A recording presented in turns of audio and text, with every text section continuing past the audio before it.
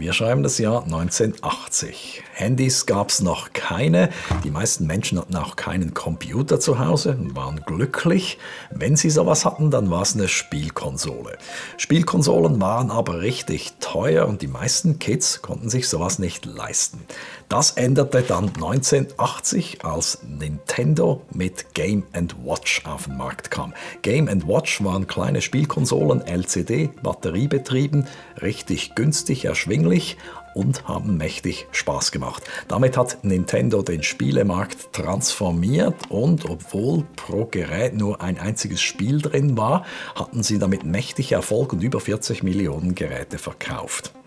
Wir kümmern uns heute in diesem Video um die Königsklasse, nämlich Donkey Kong von 1982. Hier drin steckt schon die ganze Technologie, die ganze Innovation der Spieleserie und wir kriegen raus, was drin steckt, wie es funktioniert und wer es erfunden hat.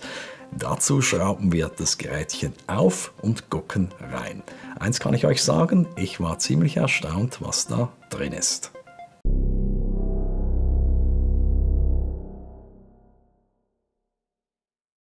Willkommen bei Enigmaskop, Wissen jenseits der Schule. Auf diesem Kanal jagen wir allerlei Rätseln aus Wissenschaft und Technik nach und für mich war das hier lange ein Rätsel. Das ist Donkey Kong von Nintendo 1982 und ich habe mich schon ewig gefragt, wie funktioniert's und was steckt drin. Leider habe ich als Kind nie eins besessen und konnte es deshalb auch nicht mit gutem Gewissen aufschrauben. Das Problem habe ich jetzt aber gelöst, denn ich habe bei eBay in Japan eins gekauft und das können wir uns heute mal genauer ansehen. Mich hat vor allem auch interessiert, wie das möglich war preislich. Das Ding hat damals etwa 70 D-Mark gekostet. Technisch, nun ja, es gab zur gleichen Zeit 1982 den C64, der konnte das technisch alles auch, aber der hat 700 D-Mark gekostet, zehnmal mehr. Außerdem brauchte man da eine Steckdose dazu. Auch das Problem war an und für sich zu der Zeit gelöst. Hier ist ein Taschenrechner, ein High-End-Modell von 1982, selbes Jahr. Das funktioniert ebenfalls mit Knopfzellen. Auch das hatte richtig fest Rechenleistung, aber auch hier 400 D-Mark. Wie ging das also für 70 D-Mark und was steckt drin? Und hier ist unser Päckchen aus Japan frisch angekommen. Das Donkey Kong Spiel tatsächlich drin. Das freut uns. Wir packen weiter aus. Zeitung können wir leider nicht wirklich lesen. Was ist Donkey Kong? Wie geht das? Wer weiß es? Get ready for the greatest video game of all time. Donkey Kong. Donkey Kong House?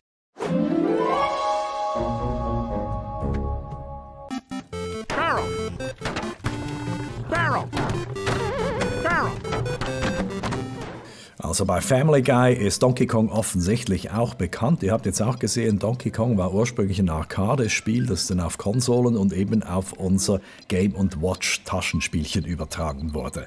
Und wie wird's gespielt? Wir bewegen unser Männchen das Gerüst hoch und weichen Fässern aus. Das Männchen wurde übrigens später als Mario bekannt und oben haben wir den Donkey Kong, den wütenden Affen. Und wenn ihr da ganz genau hinschaut, dann seht ihr auch, das Spiel ist eigentlich schwarz-weiß, hat aber trotzdem farbige Elemente drin. Weshalb das so ist, das klären wir jetzt.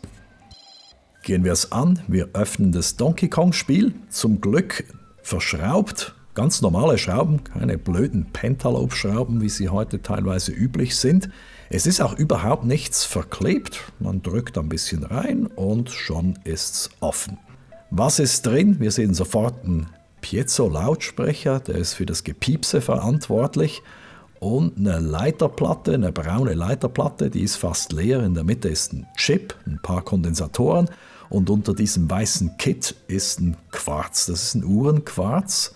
Und sonst, sonst sehen wir, wir sehen noch die Taster. Das ist auf der Leiterplatte und diese Gummimatten. Und sonst sind das LCD-Displays.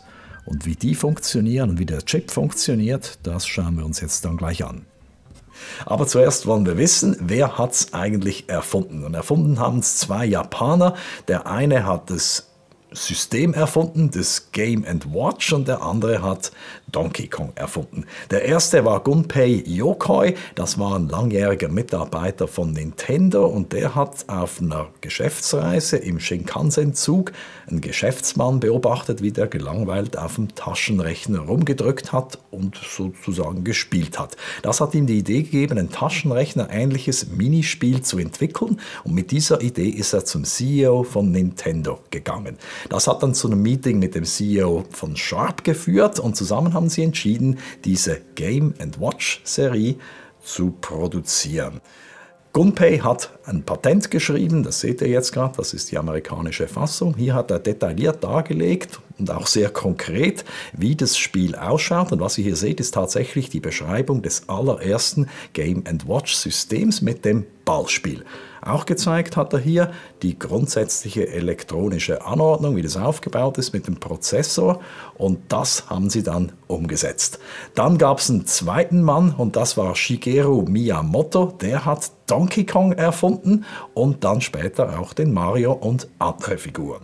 Ein Großteil der Innovation und der Magie liegt im Display. Flüssigkristall-Display. Ihr seht hier Flüssigkristall, das ist alles das richtig dunkle schwarze, die Fässer, der gute Mario. Da hat es keine Pixel, das sind wirklich komplette Segmente. Dann hat es noch Folien, die farbig sind. Das hat mit dem Flüssigkristall erstmal gar nichts zu tun. Das ist auch Teil der Erfindungen, die hier drin stecken. Und ihr könnt hier auch sehen, alle Bewegungen, alles was möglich ist, hat jeweils eine eigene Zeichnung, ein eigenes Männchen, ein eigenes Icon.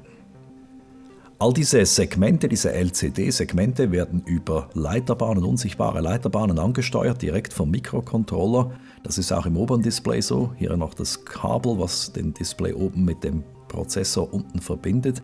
Auch hier all diese Segmente, über 100 Segmente gibt es. Die kann der Mikrocontroller einzeln ein- oder ausschalten. Interessant ist auch der Folienstapel. Das gibt so wie einen 3D-Effekt, wenn man aus verschiedenen Richtungen drauf schaut. Und wie das genau gestapelt ist, das schauen wir uns jetzt an. Im Deckel sind ja bereits Folien drin, und zwar die zwei hier. Die klappen wir mal drauf, damit wir die richtige Reihenfolge haben. So, was ist ein Polfilter? Ganz interessant, wenn ich den drehe, sehe ich durch oder nicht durch. Dann als nächstes kommt eine Folie, wo dieses Baugerüst farbig drauf ist. Das ist einfach ein Farbdruck, der hat sonst keine technische Funktion. Das ist die Glasscheibe, das ist das eigentlich Flüssigkristall-Display und unter diesem Display sind dann nochmals drei Folien. Die oberste Folie ist wieder ein Farbdruck, vermutlich Siebdruck. Dann kommt nochmals ein Polfilter. Bei LCD dreht sich ja alles um die Polfilter. Ich mache also polarisiertes Licht. Das Flüssigkristall dreht dann die Polarisationsrichtung, ja oder nein. Und das zweite Polfilter filtert das aus. Das heißt, man kriegt dann nachher durchsichtig oder gesperrt schwarz. So geht das. Dann die letzte Folie, das ist der Reflektor, der das Tages- oder das Kunstlicht reflektiert, weil es gibt ja keine Hintergrundbeleuchtung, so wie das heute üblich ist. Was wir jetzt sehen, was übrig bleibt, ist das tatsächliche Flüssigkristall-Display mit dem ganzen Mikrocontroller drin. Der hat wahnsinnig viele Anschlüsse. Die allermeisten Anschlüsse sind da, um all diese Segmente im LCD anzusteuern. Und zwar das untere Display, das ist hier angeschlossen, und die anderen die andere Hälfte dieser vielen, vielen Beine, die geht dann über dieses seltsame Kabel zum oberen Display. Das Flüssigkristall-Display selbst, das sind zwei Glasscheiben, wo diese Segmente mit unsichtbaren Leiterbahnen aufgebracht sind und innen drin in diesem Spalt, da sitzt die ganze LCD-Soße. Das war also LCD, klassisches LCD, das kennt ihr auch von Uhren. Digitaluhren funktionieren genau gleich, die haben Segmente, die haben keine Pixel, klassische. Dafür brauchen sie auch absolut kein Strom, nahezu kein Strom und sie brauchen dafür aber Licht, funktionieren aber auch bei Tageslicht und direkter Sonneneinstrahlung super. Wie geht das heute? Ich habe ein iPad mitgebracht, das haben wir hier geknackt. Mal schauen, was drin ist. Drin schaut das dann grundsätzlich so aus. Ich habe den hintersten Teil, da ist der Akku drin und das ganze, die ganze Elektronik, Prozessor machen wir mal weg. Vorne haben wir diese Scheibe, Das ist da, wo man drauf fasst, da kann man durchsehen. Das ist aber nicht einfach eine Scheibe, sondern da hat es ein Kabel dran und der Grund ist, das ist die Touch-Einheit. Auf der Rückseite dieser Scheibe, man fasst also vorne drauf, auf der Rückseite sind unsichtbare Leiterbahnen. Die sind genau gleich gemacht, nämlich mit Indium-Zinnoxid, diesem seltsamen Material, was auch im LCD-Displays vom Nintendo Game drin ist. Und da ist also ein unsichtbares Netz drauf. Vorne dann in der Mitte ist dann die eigentliche LCD-Display-Einheit. Das sind jetzt aber sogenannte Aktivpixel. Sonst ist der Aufbau ganz ähnlich. Ich habe, was ihr hier seht, ist der Pull-Filter. Ich habe Pull-Filter, LCD-Panel, wieder ein Pull-Filter, dann habe ich eine Diffusorscheibe und hinten kommt dann das, was ihr hier seht, das ist die Beleuchtung hinten. Auch hier ein Kabel geht da rein, allerdings nur ein winzig kleines Kabel. Es hat also nicht für jedes einzelne der vielleicht mehreren Millionen Pixel eine Leitung, sondern das wird da seriell in hoher Geschwindigkeit übermittelt und hier hat es eine Elektronik drin, die dann das umsetzt für das Panel und im Panel selbst sind nochmals Millionen von Transistoren drin. So funktioniert das iPad, so funktioniert euer Handy. Das ist drin. Viel ist das natürlich nicht. Ein einziger Chip und noch ein paar Kondensatoren, Batterie und ein Quarz und ein Piezo-Lautsprecher. Das ist nahezu nichts. Die ganze Magie passiert also in diesem schwarzen integrierten Schallkreis IC. Was ist das? Spoiler Alert, das ist natürlich ein Computer. Und was der genau tut, hm, lohnt sich kurz reinzuschauen zu unserem guten alten Freund den C64, weil die sind ja praktisch beide aus dem Jahr 1982. Was steckt im 64er drin? Zur Erinnerung, wir haben drin Mikroprozessor, wir haben drin RAM-Speicher, Arbeitsspeicher, wir haben hier hinten die ROMs, da wo das Betriebssystem sozusagen drin ist, die Software und wir haben Videochip und Soundchip. Das ist offensichtlich deutlich mehr als in unserem guten Nintendo Donkey Kong drinsteckt. Auch kostenmäßig würde das nie gehen. Der C64 war so zwischen 700 und 1000 D-Mark an und dazu mal. Das Nintendo Game war irgendwo zwischen 50 und 100 D-Mark. Also der C64 ist zehnmal teurer. Und was steckt jetzt drin? Das ist von der Firma Sharp, ein SM510. Das ist ein 4-Bit-Mikrocomputer mit eingebautem LCD-Treiber. Verrückt ist das eigentlich, das ist die ROM-Größe. Wir haben also nur etwa 2,7 Kilobyte ROM und sagenhafte 64-Bit RAM. Noch ein bisschen mehr, weil hat es noch Display-RAM, aber das ist extrem wenig. Dafür hat es enorm tiefe Stromverbrauch. Was ist wirklich drin? Das ist das Blockschaltbild des gesamten Systems. Also das ist im Wesentlichen das Donkey Kong-System, weil sonst ist da ja nicht viel. Sieht verwirrend aus, ist gar nicht so verwirrend. Ich zeige euch mal den LCD-Teil. Das, das sind die LCD-Treiber. Das heißt auch die Anschlüsse. Ein Großteil der Anschlüsse hier ist LCD. Ihr seht jetzt aber, das LCD-Display hat über 100 Segmente, das sind weniger Anschlüsse wie Segmente. Und das ist, weil das gemultiplext ist, und zwar vierfach. Das ist, was hier passiert. Das heißt, das multipliziert sich dann mit 4. Ähnlich geht es auch hier weiter. Das ist wieder so eine Multiplex-Geschichte und das ist die Tastatur. Da kann man also eine größere Menge Tasten dranhängen. Beim Donkey Kong sind es ja nur ganz wenige. Da könnte man ein komplettes Keyboard anschließen. Und übrig bleibt dann dieser Teil hier. Das ist der eigentliche Mikroprozessor, der eigentliche Prozessorteil. Dieser ganze Teil hier. Und damit das überhaupt funktioniert, braucht es hier noch ein Quarz. Und das ist unser Speicher, das ROM und das RAM. Das RAM ist zweiteilig, das ist das normale RAM. Da wird also drauf gearbeitet, um das Spiel auszuführen. Und das ist der Bildschirmspeicher sozusagen. 32 mal 4 Bit Bildschirmspeicher. Das ist das gesamte System, so funktioniert es. Das ist also unser Donkey Kong Spiel mit einem einzigen Chip drin, mit einem kompletten Computersystem auf einem einzigen Chip, inklusive RAM und ROM, also auch das Spiel ist da fix reinprogrammiert in diesen einen Chip. Wie vergleicht sich das jetzt leistungsmäßig mit zum Beispiel dem C64? Das schauen wir uns an. Wir schauen auch noch an, wie das mit dem iPhone, mit dem aktuellen iPhone so steht.